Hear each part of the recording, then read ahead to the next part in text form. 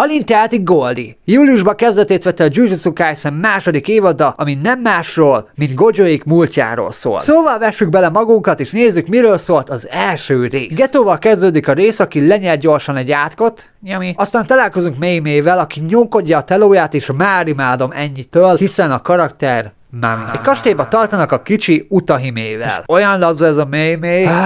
Az animáció felgetteges, nagyon jól kezeli a kameraszögöket ez a rész. Ketté válnak, körbejárnak a szobákat, utahimé beszelik a semmitől, majd észreveszik, hogy ugyanazon az emeleten vannak, azaz már a szörnyetek gyomrában, és egy végtelen folyosón sétálhatnak körbe és körbe. Egyből beugrott a Chainsaw Man-nek az az epizódja, amikor a nyolcadik emeleten rakadt a kedvenc kis uh, csapatunk. Szintén egy paranormális lény fogságával, szóval ez nagyon tetszik ez a rész eddig. Utaimé megfejtette könnyen a dolgot, szóval elkezdenek két irányba futni, és az egész kastély hirtelen így összecsukódik, összeomlik. E, Oké, okay, de nem lesz leúzva a fekete fácsol, ezt most amúgy kívülről mindenki látta? És megjelenik a bolondos, fiatal Gojo. Aztán jön a menő opening, amit imádok, és nem akarok erről beszélni, mert túl jó. Szóval megjelenik a favorite trio, Gojo, Geto és Shoko. És Gojoék azután, hogy megjelentek, nem volt annyi eszük, hogy lehúzzák a fát hátlat, ugye? Hát uh, igazából Gojo-ra volt ez bízva, szóval uh, meg is lett büntetve. Gojo unja egy kicsit, hogy a gyengékre folyamatosan ügyelni kell és vigyázniuk, hiszen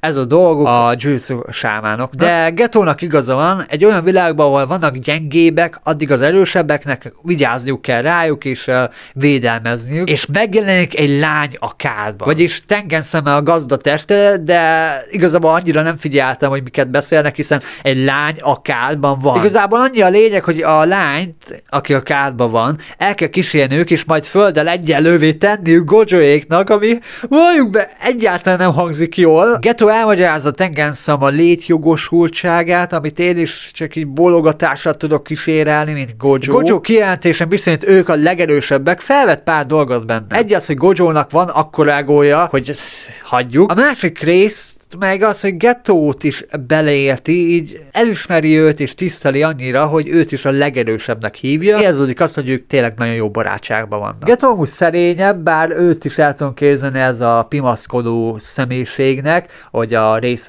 elején tette igazából utahimével. Getóra rátámadnak, Tengenszem a gazdatestét, meg igazából úgy gondolják, hogy ez zuhanjon egyet. Aztán Gojóra is rátámadnak, de hát szóval hát rátámadni nem is lehet. Aztán megjelenik a rész végén Toji, aki azt mondja, becsatlakozik ebbe a csillagplazma test merényletbe, de nem úgy, mint Zein, hanem mint fusigorú.